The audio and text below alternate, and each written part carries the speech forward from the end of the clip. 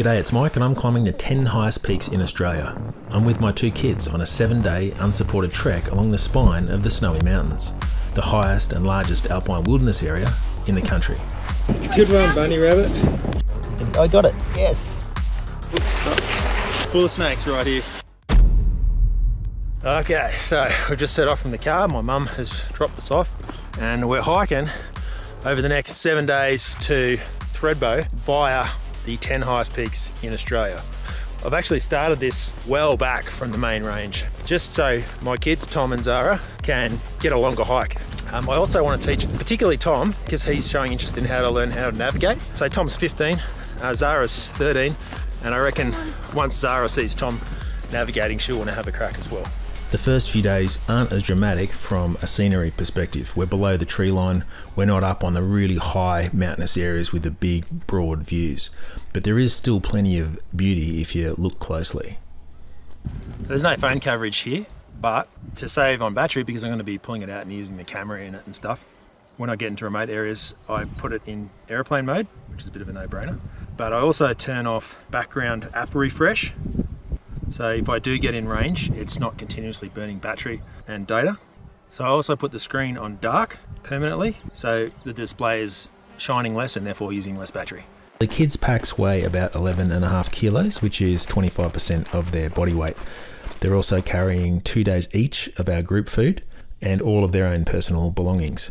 I'm carrying 26 kilos, of which 6 kilos is camera gear, a solar panel, and power banks and I'm carrying three days of our group food, plus the tent and all the cooking gear and all my own personal stuff.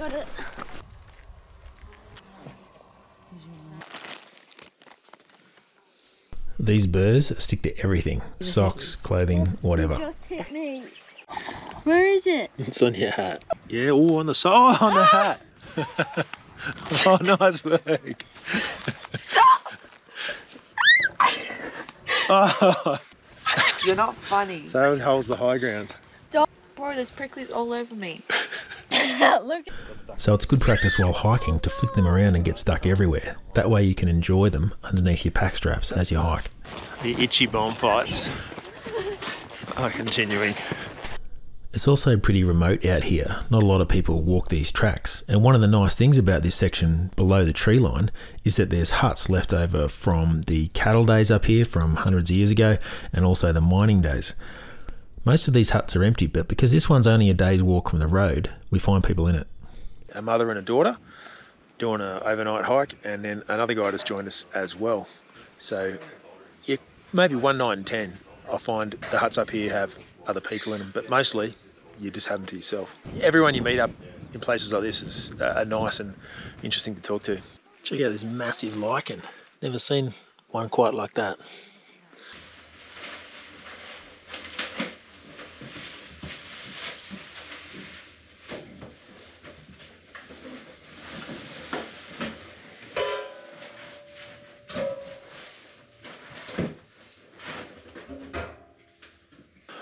Uh, that wasn't a bad night. It rained last night.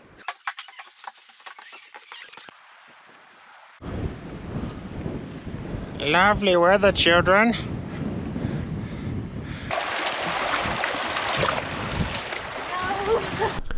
Unfortunately, my main camera died.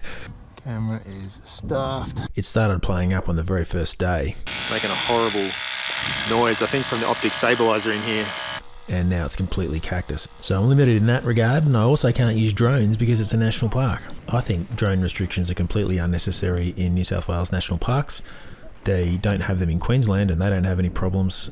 National parks don't own airspace, and park users are generally respectful people and they're not going to intrude on other people's privacy or hover around their heads to annoy them. It's just an unfortunate photography restriction on people who have a right to use the airspace of bug parks for their own pleasure and share the beautiful things that they are able to film on their drones.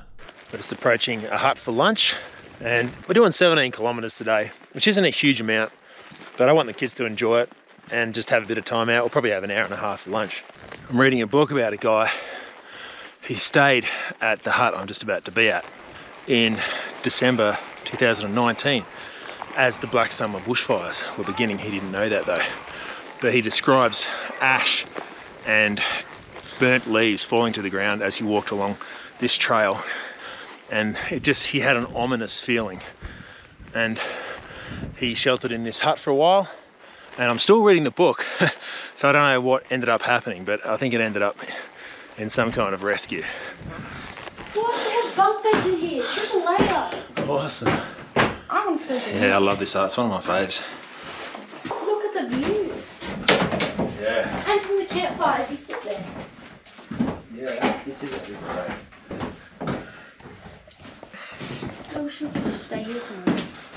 Last time I was here, it was snow everywhere. I had a stereo, and I sat up and I was listening to music on that shelf. We can't use that wood for a fire, can we? No, we'll collect our own wood. Yeah, you can set it if you want. I'll give you a lighter and you can do it. Can you help me get firewood? No, you can do it. You'll be right. Pretty modern looking dunny. I'd say the bushfires must have burnt down the last one. Standard kind of drop dunny. So Kosciuszko National Park never used to have a Z in it. It was named after Kosciuszko, some guy from Europe or Poland or something. And then they added, like only 10 years ago, a Z. It was, it was hard enough to spell as it is, but you can tell something's new when it's got a Z in the name. I always prefer the old spelling. So the kids are keen to camp here for the night, and I must admit I am tempted because the weather is pretty rubbish. It's supposed to be rubbish for the next couple of days, and this would mean that tomorrow night we're definitely in a hut as well. As we were packing for this trip, it absolutely poured down at my mum's place, and those kinds of storms are in the forecast at the moment. So I am tempted, and plus it's the kind of the kids' idea, so it is nice to stay in a place when it's kind of their idea. And also, I mean, this is just a beautiful remote hut with a beautiful view. And this is why you come out to these places. And in some ways, it's kind of not surprising that there was people in the hut last night because it's a day walk in. But now we're two days in, and this is one of the most remote huts in the high country up here. So that's nice too. Just feeling remote and having a beautiful view and hanging out with your kids. It's going to be awesome. And there's an awesome open fire pit as well.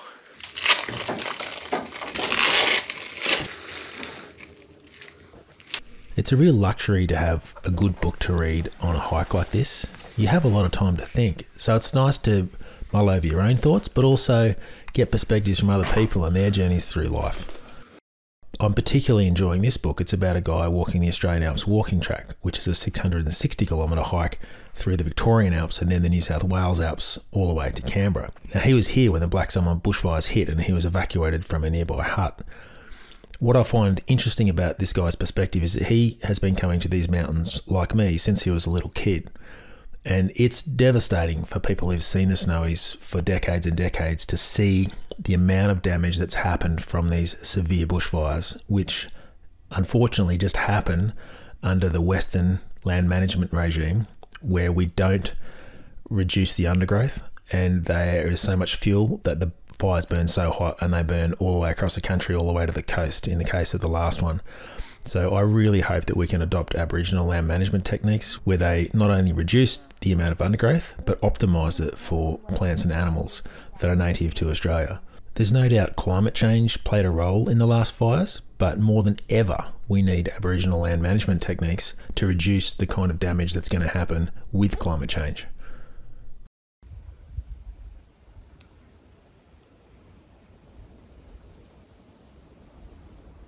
It's a hare. I was just sitting here quietly and I saw movement. You can tell it's a hare because it's got much bigger ears than a rabbit and they're larger. I find them more wary than rabbits. He's upwind of me, so he can't smell me. And unless I move quickly or the wind shifts, he's not going to know I'm here. Oh, there he goes. So the wind, the wind was just swirling as I said that, and he caught a whiff and then he had it off. Nothing fancy tonight. Beef ravioli. Mind you, this is a fresh meal, so the first two nights I'm going freshies. And then after that, it's just cheap, dry stuff. With these gas cylinders, this is an expensive one, and it says four season performance. In summertime, you don't need that because it's warm enough that the gas just evaporates enough to be used anyway. So I'm just using this one up. That's the only reason I'm using it now. But otherwise, just use these cheap ones from Kmart. They're like four bucks fifty. It's like a third of the price. Squirty sauce. So I've been trying to figure out how this machinery works for this, I think, gold mine, right? So I reckon this machine spun this wheel and rotated those rock crushing bits. And I reckon this spinning bits that crushed the rocks was housed in those big metal things there, maybe fed down a chute like that. and this is a large flywheel that probably added inertia to the rock crushing. And these things look like pistons, and I don't know quite where they fit in, which maybe that's maybe that's the engine block, I don't know. But the whole thing would have been mounted down here, I reckon, on these supports using the water from the river. And you can see all up and down this little creek, there's tailings left over from this mining process. And the rocks would have been carried in that thing before it went into the crusher. It's interesting that the whole lot is spread out really widely over a, about a 50, 60 meter area. That would have taken a lot of work to do. So I wonder whether the person that left the mine destroyed it so nobody behind him could use it. No idea. But this is obviously the hut where they worked. Not bad having a water source right there.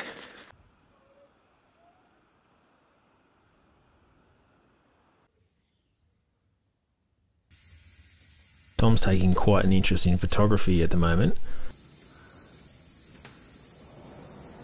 I like that bug one too.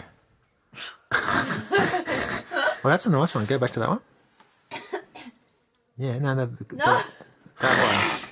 So I'm also showing him how I shoot star lapses on my GoPro. Each frame, you know how I said there's 25 frames per second.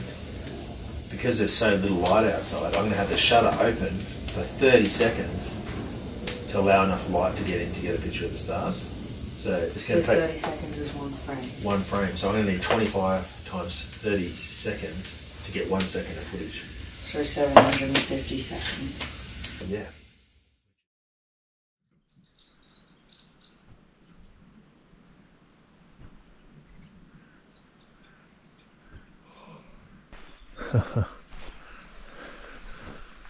Wow. Now Jagungal over there has just got some fog just wisping over the top. Ha, blue sky day.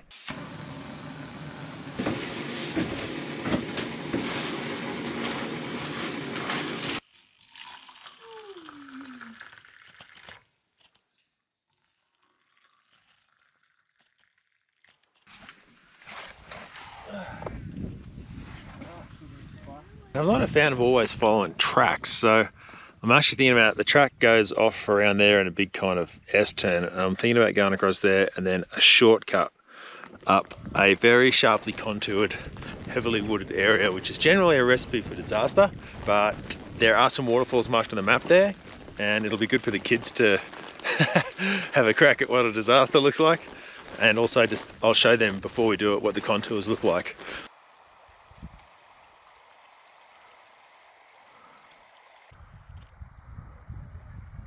Deer tracks, lots of them. And that's a new addition to our alpine areas. Well, since the 1800s, they've introduced deer, but recently the deer numbers have been going absolutely nuts. So you can catch a blow, a um, marsh fly, Tom, and feed it to that skink.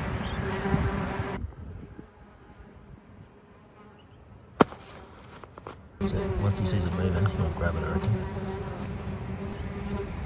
Oh, he can, oh, I got it. Yes. Look, he's eating it. How awesome. He's like, thanks, human. It's hard for me to catch these things. Can you squat that one on my bum, please? Just having a hard time getting it down. Oh, yep. Get it down there, mate. Good work. Getting down the river was okay. And even getting across the river was easy enough without even taking our packs off. But on the other side, we came across a whole bunch of snakes basically. They're just underneath the bushes everywhere. And this one was right in the middle of my path. And as I tried to move around just another three meters to my left to avoid that snake, I came across another one. So I had to take measures. This place is full of snakes right here. So these are normally to keep the birds out of your socks. My boots go to there, but I'm just going to put these on as an added layer of protection in case I get struck up here. We're going right through this stuff which is knee high. And I just saw two snakes just in the last three or four meters and oh, it's just the sound reflecting off that rock there.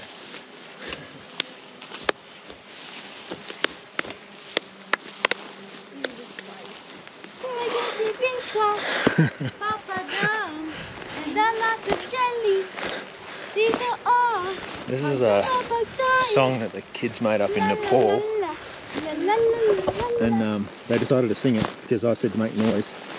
So they're making noise to help scare the snakes off. Now on the other side of the ridge, I reckon the snake risk just went down a bit because it's dewy here. See how wet my boots are? And it's cold, and I reckon all the snakes in the area have gone to the other side of that knoll to warm up in the sun. And check that waterfall out, spectacular. I just hope we can get around it. So the plan is to go to that middle of that clear ridge there and then assess whether to go up that side around the far side of the waterfall or go up this side. We're going to try going straight up this ridge line here.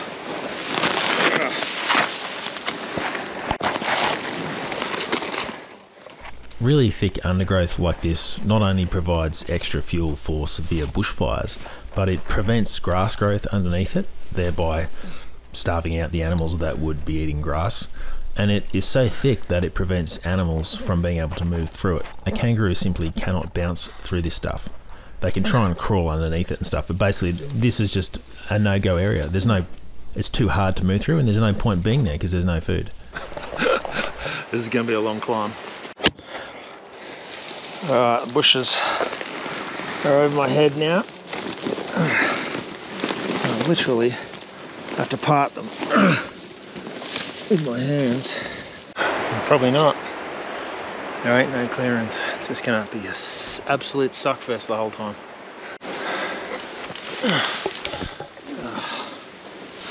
Their bushes are all angled like like a barb, so you're going up grain. Like fallen logs like this are kind of helpful because they push it down. yeah, hang on. Thought it would get easier, it's actually getting worse. I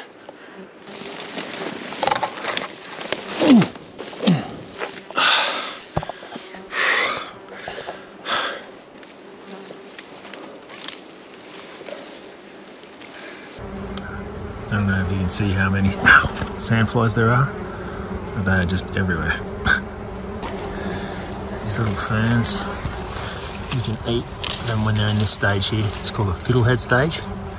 You get better off boiling them first though. This looks like an alpine version of Dianella that just aren't ripe yet. I've never seen that size. I'll have to look it up when I get access to the internet again. That's also called the flax lily good for making string, but um, normally those berries go blue and you can eat them and taste really good. That there's a witchetty grub hole. You can see that's the sawdust that the grubs left behind. So if you had an axe, uh, this is a national park, you're not allowed to do this even if I had one, but uh, you cut in here and the grub would be up there. In fact, you can make a little hook on a stick, shove it up the hole and drag it out, but um, we're puffing and panting going this hill, so I think we're better off just keeping going. This is a bloody struggle, epic struggle up here. But I can just see the base of a big granite cliff face, which we spied from the bottom, and I think that is the top. Oh, oh that was an absolute prick of a climb. You right? If it if it's too dodgy, just don't come up, okay? So that's where we bush bashed up from. It was a shocker. That was not the bottom. No. the fun wasn't over there yet either because we had to bush bash down to another river and then back up the other side. On the plus side, we managed to have a swim because we were covered in leaves, sweat, and twigs. That was a pretty epic morning, actually. That was tough going up that hill.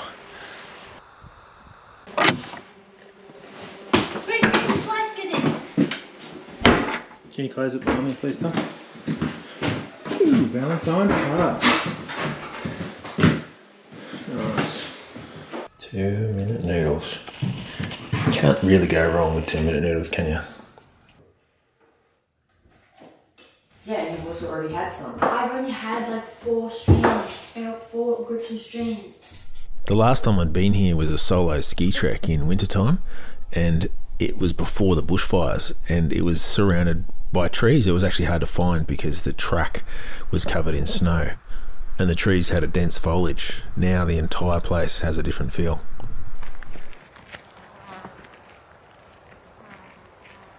Yesterday, it kind of seemed arduous walking on a track, but after walking up that horrible ridge through all the bush, the track seems like an absolute luxury.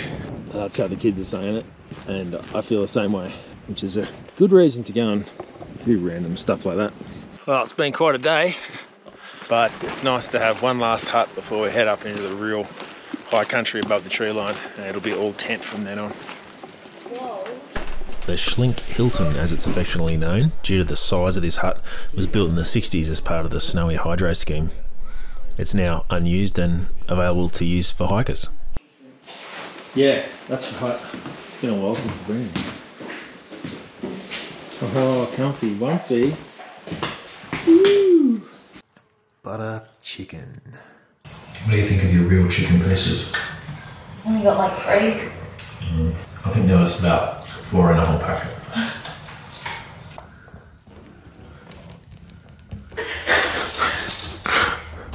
As after being exploited. You can complain to the Human Rights Commission. Weather can change very quickly here, and I'd been expecting it to get bad, and it looked like it was about to finally catch up with us just as we left the protection of the huts and headed up onto the higher ground of the main range over the following days of the trip.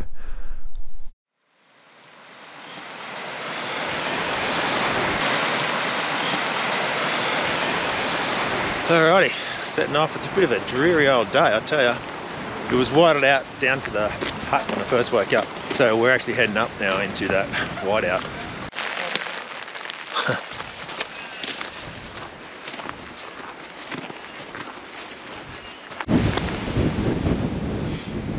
yeah, it's not looking real nice. At least it stopped raining for a second.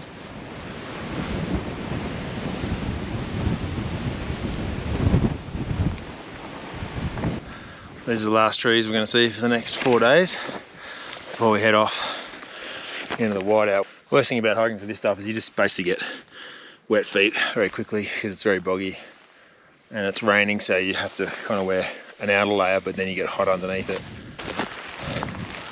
Uh, now walking on a compass bearing.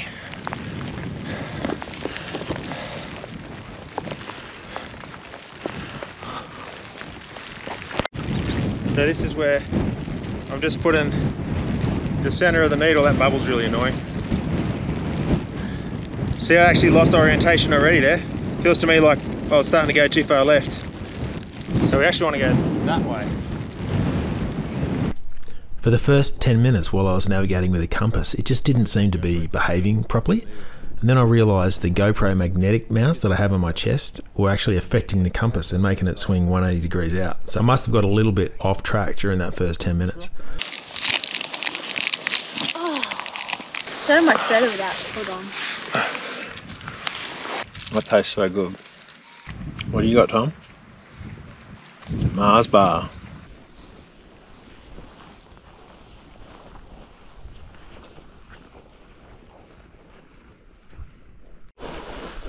It is uh, windy and we need somewhere to have lunch and we just found this little, wouldn't call it a cave, but it's a gap between two rocks.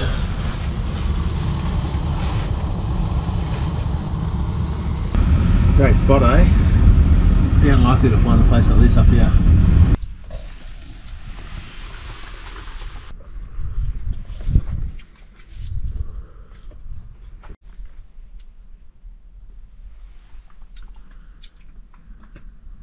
Alright, this whiteout is just too difficult to navigate in. And uh, we're now soaked through most of our clothes. And if we just keep bundling on, we'll miss this pass and end up having to backtrack tomorrow when we can see where we're going. So we're gonna find somewhere to set up the tent and camp. Despite wearing a waterproof outer layer, I'm still mostly wet on the inside now because it's been raining so much. So that's a important reason not to have cotton clothing because cotton is a vegetable fibre and it hangs onto moisture and is really hard to dry out. So I make sure I either have synthetic thermals or merino thermals, which are even better because they dry more quickly and they can still provide warmth when they're wet. In this case, I didn't have enough merino thermals to go round, so I gave Tom and Zara my merino bottoms and I just used synthetic pants, which weren't quite as good, but at least they dry. So when you're wet in these situations, just wear your wet stuff to bed, and after a few hours of feeling clammy, it eventually dries out.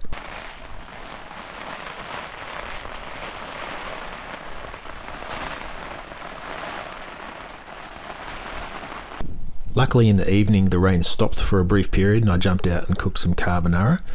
I normally put the daily food rations in Ziploc bags, and then once the first one of these is empty, I use it for a rubbish bag, and I find that's the easiest way to just keep a track of all the rubbish because you do end up with a lot of small bits of plastic rubbish on trips like this.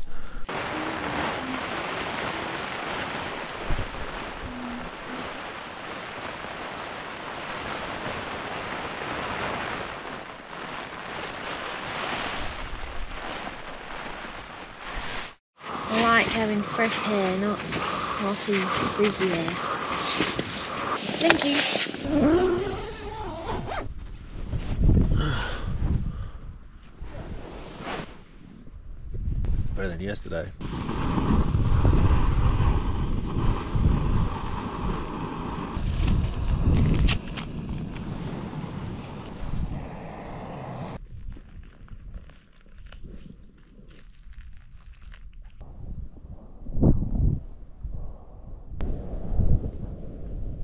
Sun's out again. Yeah.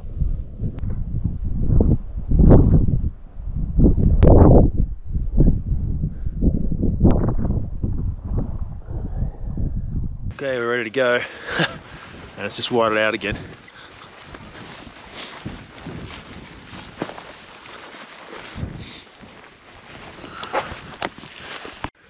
And we can now scope out our route to the top of Mount Tate, which is up, there. So we're just going to basically follow along the top of the ridge to the top there. That's where I was hoping to camp last night, but uh, we just couldn't see anything.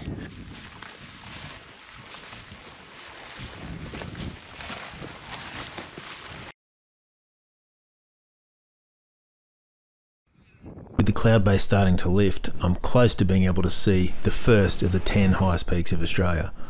I'm just hoping that the weather continues to improve. Cruskets and cheese for lunch. And then the summit of Australia's third highest mountain, Mount Twynam, comes into view for the first time. Let's be honest here, due to the rounded nature of Australia's peaks, due to the age of the Australian continent, we don't have such spectacular steep peaks as other countries. Maybe our claim to fame should be that it gets so windy that the trig markers blow over. On the plus side, at least we don't have to carry ice axes and crampons to our mountains, we can just stop and smell the flowers. Looking back behind us, I can see Mount Jagungal that we walked past and all the way back to Round Mountain where we started this hike.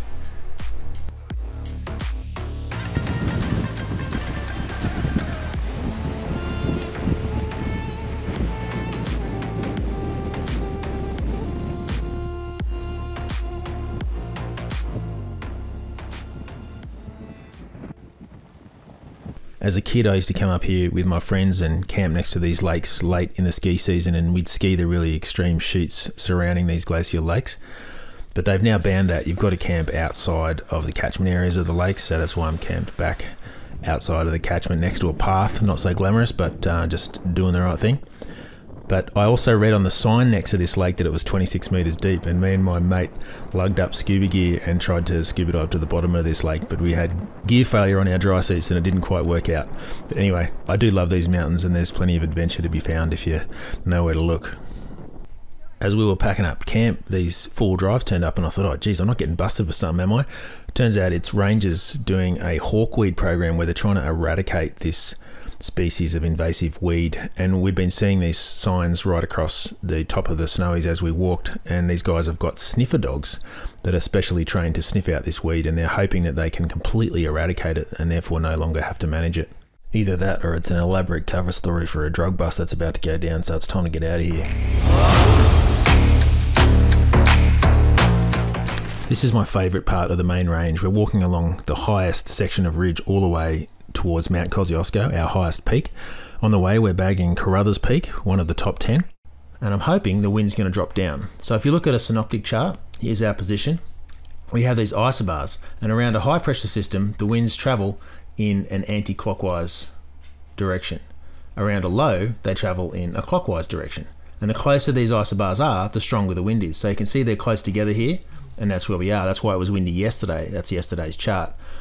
Then the isobars getting further apart, the wind's dropping, dropping again. And by tonight, I'm hoping the wind's going to be completely still and we're going to have one of those perfect snowy mountains, clear nights.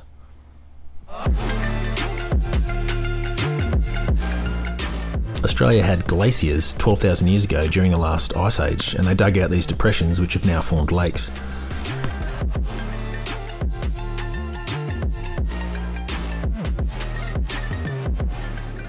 Lake Albina is another glacier lake, and we're now on the metal walkway that extends a lot of the way to Thredbo, and it's designed to minimise impact on the environment but also help people find their way back in the middle of a whiteout. People do die up here from exposure from getting lost in whiteouts. And they also die from avalanches, believe it or not. There was a hut at the base of this mountain and it was destroyed with someone in it, and they died in an avalanche many years ago.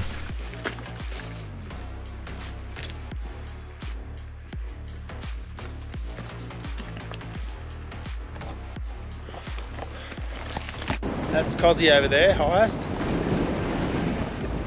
We just come from Twynam, Carruthers, which are like the third and then I don't know, the sixth or something. We're going to dump our packs and bag these peaks next. Uh, Abbot Peak East, number nine.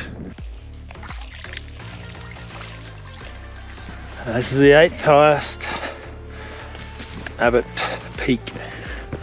What lake is that? That's the highest I've ever seen deer prints.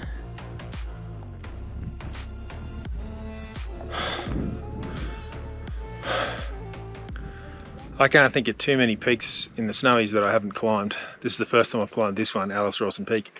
And I reckon it has the best view anywhere in the Snowy Mountains.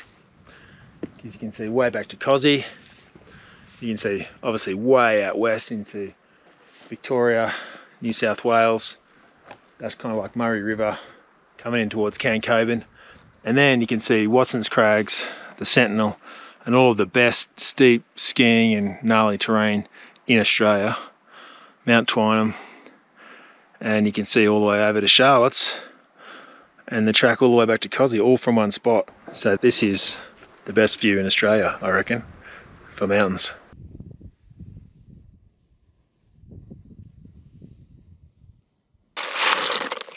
It's day six and we're all getting sick of packet meals and we can't wait to eat something fresh. After pushing through some pretty rubbish conditions, it was nice to have absolutely perfect weather like this for the last night of the trip, and little surprises kept coming out of nowhere, like the fact you could fill water bottles from pools on the rocks at the top of the mountain due to the recent rains. The next surprise was something I just completely wasn't expecting. So some good news. Can you see the moths flying around? There's a whole bunch of moths flying around, like thousands and thousands, and I'm guessing they're bogong moths. And they've had a real struggle. They're these moths that go and they breed out on the western plains and they hatch and they come up here and they land in the high country. And aboriginal people used to come up here specifically to harvest them. They taste pretty good raw and cooked. They taste like sort of nut have a nutty flavor. And i hadn't seen any on this trip so far but now i'm seeing thousands of them flying around. Now normally like you, you can barely breathe when they're really thick but at least i'm seeing some i'll see if i can get a close-up of one so the floor of this cave is carpeted in dead ones it has a bit of a smell like back guano because they're full of protein. These things. That's why they taste good and why original people ate them. And they would they'd smoke them out and they'd just like gather up masses of them. There's been a real failure of the bogongs in the last few years. I think it's because of the conditions out in the Western Plains where they breed. Uh, also, man-made light sources is making life hard for them. I just want to find out where all these live ones are going. Bingo! I can see where they're landing. I can see their eyes. Oh yes. the bogong moth population has crashed so badly recently that they were added to the threatened species list in 2021. That's why I'm not eating them. So it's really good to see these guys cracking on with life the way that they always have.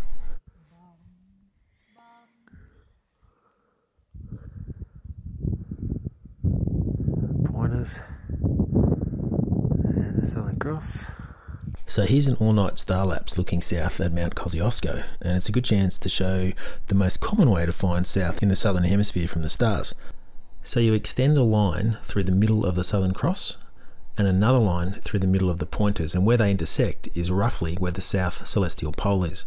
Unlike the northern hemisphere, we don't have a star there unfortunately, so we have to estimate where it is. From the south celestial pole, drop a line to the horizon, and that's where south is. You can see as the universe continues to turn that the Southern Cross and pointers keep pointing to the south celestial pole.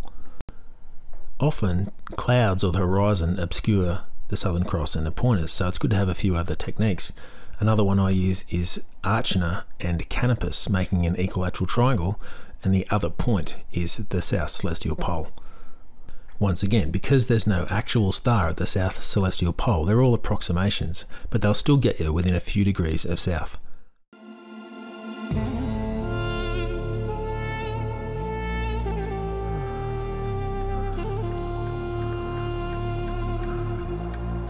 Seriously? It took me five attempts to spell that correctly.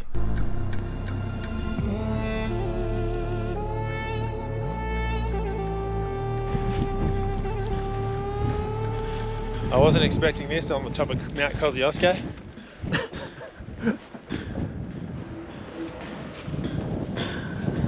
I could see a tractor from the bottom, so they're obviously doing track works up here. Some numpty vandalised the can on top a while ago, they're probably replacing that as well. And then, like a complete numpty, I left my camera in hyperlapse mode, so it's all in fast forward and you can't hear anything I'm saying. But basically, I point out the three remaining peaks to the south that we've got to complete before we walk out to Thredbo.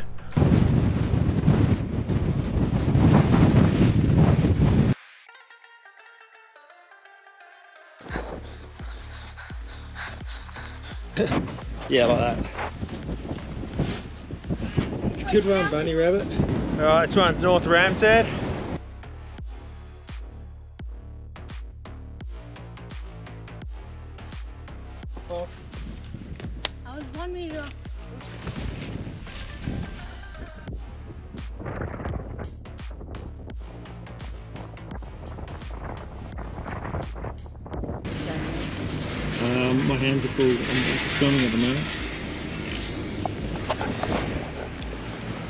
Wasn't sure if we'd take the chairlift or not, but uh, it's been a long walk, seven days. So we're taking it and we're going to meet the doggy and my mum in the car down the bottom. How good.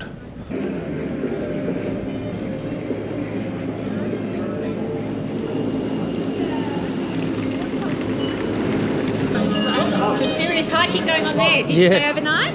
Yeah, seven nights out. Seven nights. Yeah. Alrighty.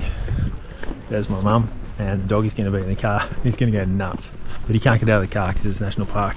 There he is.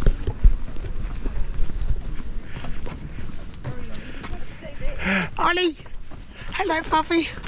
Hello, Puffy! Oh, it's so good to oh. see you. He's smiling. He's smiling. Good boy. Oh, we missed you, Puppy. We missed you. hear your voice on the phone, so Look at him. Oh, good boy.